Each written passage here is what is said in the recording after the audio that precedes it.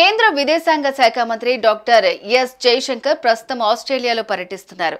ఈ సందర్భంగా బ్రిస్బెన్లో నూతనంగా ఏర్పాటు చేసిన ఇండియన్ కాన్సులేట్ను ఆయన లాంఛనంగా ప్రారంభించారు. ఇప్పటికే ఆస్ట్రేలియా రాజధాని కాన్బెర్రాలో భారత హై కమిషన్తో పాటు మెల్బోర్న్ సిడ్నీ పెర్త్లలో ఇండియన్ కాన్సులేట్ కార్యాలయాలున్నాయి.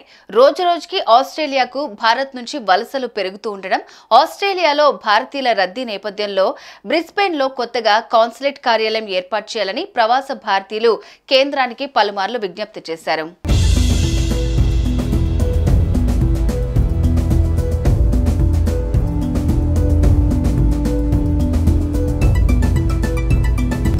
దీనిపై సానుకూలంగా స్పందించిన కేంద్ర విదేశాంగ శాఖ బ్రెస్బెన్లో కాన్సులేట్ ఏర్పాటుకు గ్రీన్ సిగ్నల్ ఇచ్చింది.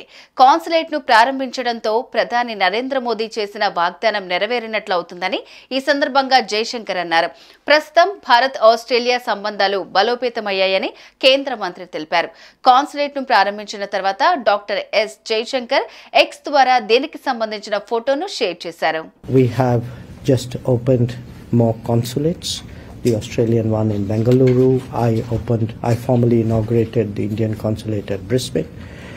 Uh, we have uh, Australian universities have also been the first to actually uh, open uh, establishments in India.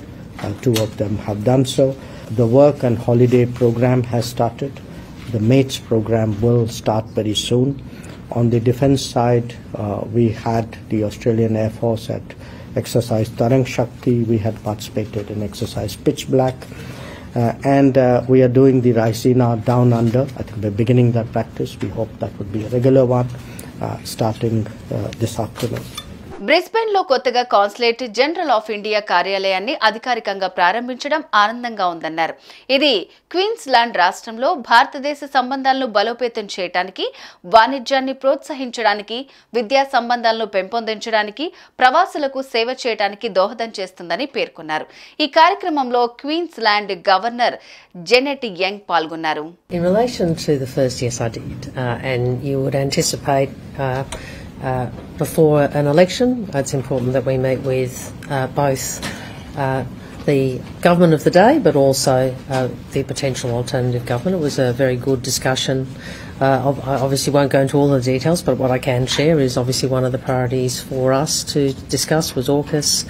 Uh, and very pleased that the sort of bipartisan support that we've seen previously uh, from visiting congressional delegations who you might have heard from, but also public statements uh, that we, we have a, an understanding on you know, both sides of politics in the US about the importance uh, of, of AUKUS. In terms of uh, the US election, uh, we, we will work uh, with whomever the American people choose. We will work with whoever, whoever they choose for president and also for the Congress of the day uh, in Australia's interests. We will look to strengthen the alliance. As you know, historically, we've had an alliance for, for many, many years, uh, and it is a, a relationship that is bigger than you know the events of the day. It's shaped by enduring friendship and timeless values. గతేడాది మే నెలలో ప్రధాని నరేంద్ర మోదీ ఆస్ట్రేలియాలో పర్యటించిన సంగతి తెలిసిందే. రెండు వేల పద్నాలుగు తర్వాత ప్రధాని మోడీ ఆస్ట్రేలియాలో పర్యటించడం అది రెండోసారి. నాటి పర్యటన సందర్భంగా ఆస్ట్రేలియా ప్రధాని యాంటోనీ ఆల్బనీస్తో మోడీ ద్వైపాక్షిక సమావేశం నిర్వహించారు. దీంతో పాటు సమగ్ర ఆర్థిక సహకార ఒప్పందం ద్వారా ఇరు దేశాల మధ్య వాణిజ్యాన్ని పెంచే ప్రయత్నాలతో పాటు పెట్టుబడులపై చర్చించారు. నాడు సిడ్నీలో జరిగిన మెగా ఈవెంట్లో ప్రవాస భారతీయులను ఉద్దేశించి మోడీ ప్రసంగించారు. దీని ఫలితంగానే ఆస్ట్రేలియాలో మరో కాన్సులేట్ ప్రారంభించారు. దీంతో వీసా పాస్పోర్ట్ ఇమిగ్రేషన్ సేవలు మరింత సులభతరం అవుతాయని ప్రవాస భారతీయులు హర్షం వ్యక్తం చేస్తున్నారు.